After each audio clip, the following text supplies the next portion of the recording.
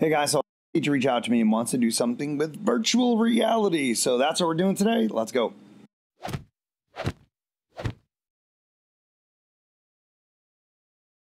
All right, whether you shot some footage on a 360 camera on your vacation and you just want to watch it, or you want to immerse your kids in a 360 world of virtual exploration of Mars, like one of our teachers does, uh, check this out. This is how I would set up Class VR and how you can distribute that content to your students so that they can pop those goggles on their face and be immersed in whatever it is that you have prepared for them. We have Class VR goggles, and right now you'll notice that I am at classvr.com. I'm just going to click the login button because I have a ClassVR portal account and it should take me right in. Okay, when you go into your Class VR portal for the first time, you're going to be like, what the heck is going on? Well, if your goggles have been set up by your tech team or whoever it is that you had do that for you, this is what you should get. Up at the top, it says plan and deliver. Okay, uh, I'm seated, so I can't stand and deliver.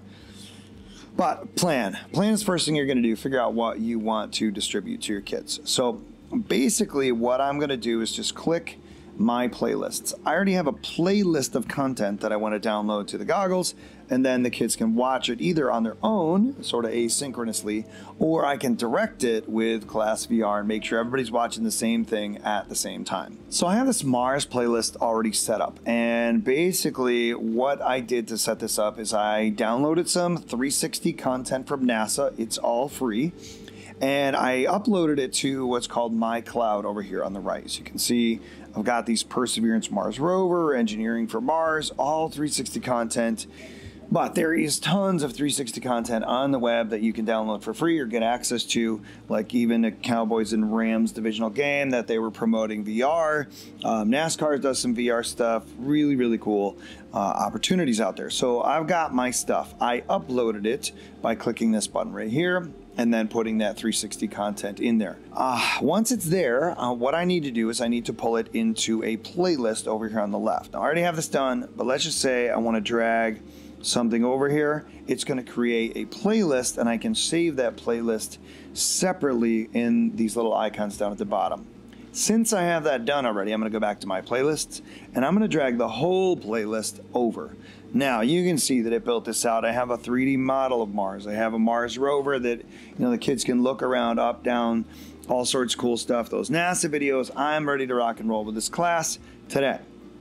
So now that I have that ready, down at the bottom, it has uh, a bunch of icons. Now I'm going to be working with some fourth graders today that are going to be watching these on the goggles however they want. So there'll be a list of inside the goggles. The kids look right, left. So the kids will basically just look around in their goggles. They'll see a little dot appear on the video they want to watch, and then they just tap the side of their goggles to load that video um, or that experience. But I don't really care what they look at. It's just an exploratory inquiry session.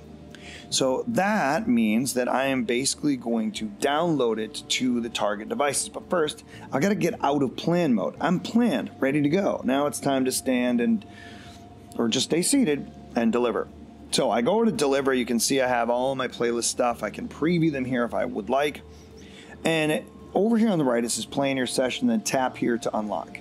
These are all of the goggles that I have here um, at my expenditure disp- disposal. So I have these available to me. there we go.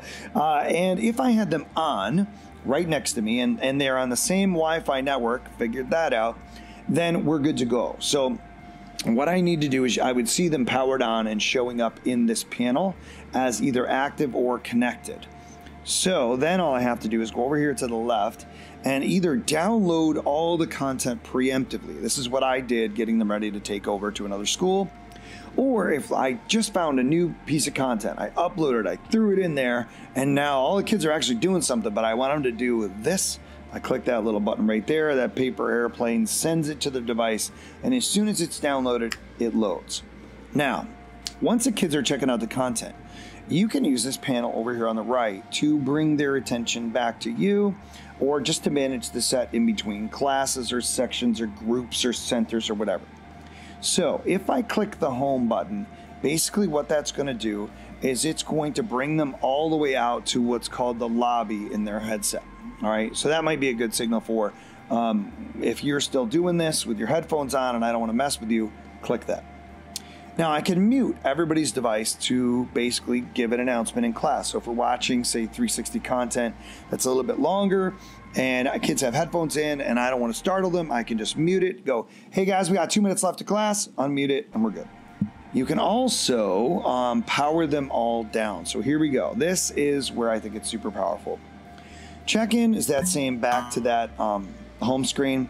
Reboot. If a kid's really having trouble, or if all the kids are having trouble, or you're gonna, you know, you're done using them for that hour, they're gonna come back in the afternoon, reboot them. Or just shut them down, save the power after the kids leave before the next group um, comes in. And basically, that's it. When you do it this way, you preemptively download or send the content to the goggles. It lives on the goggles. But there's another way that I really like to do this, and I'm going to show you in my force and motion playlist. So I'm going to drag this playlist whoa, all the way to the top. We're going to load this bad boy up, and I'm going to show you a video. When I go to deliver here, I'm going to click on this freeboarding San Francisco. So uh, there are some skateboarders on this, you know, famous street in San Francisco. Let me zip ahead. And they're using GoPros and 360 cameras to film themselves as they go. Now, as a science teacher, I've used this in the past to get across the idea that motion is relative.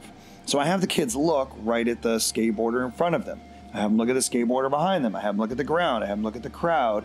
And then we talk about how the motion of the video is different what's cool about this is I send this and have all the kids watch it at the exact same time.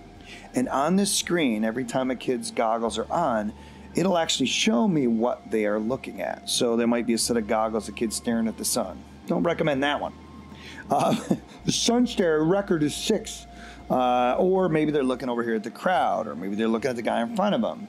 And so it's really interesting. If you hover over that, you can see which kid that is and then address their unique experience. And it's just a really cool way uh, to bring about the virtual reality on a personal level and be like, hey, I saw that you were watching the crowd as you went down.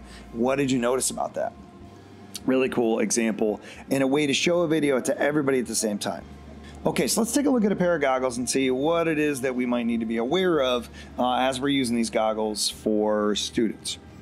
So, a couple of things uh, that I've noticed if you're using the Class VR branded set is that you might notice the headphone jack's a little bit flimsy. When kids plug this in, make sure they don't do it blind. So, have them plug their headphones in um, and then put the headset on. Otherwise, they're fumbling around and they end up pushing that jack up in, and it is a pain in the butt to get back out. The other thing is getting kids understanding that they have a right side and a left side for volume and navigation, and that they at any time can shake their head back and forth gently, not you know like they're a soaking wet dog trying to get the water off, but having kids feel around and fumble with that. You shouldn't have a lot of students that need to adjust that little roller for focus unless their eyesight is dramatically different. Tell kids do not touch the lens on the inside. Uh, it's a little bit of a pain to clean, and sometimes you don't get it all right unless you have a little microfiber that you can just sort of buff that off. Those are the goggles. That is Class VR. If you're interested in more tutorials on how to do this or how to find content, um, maybe I'll do a video on that. If you know somebody that is really looking forward to VR or just doing some 360 videos, share this video with them, and I'll see you in the next one.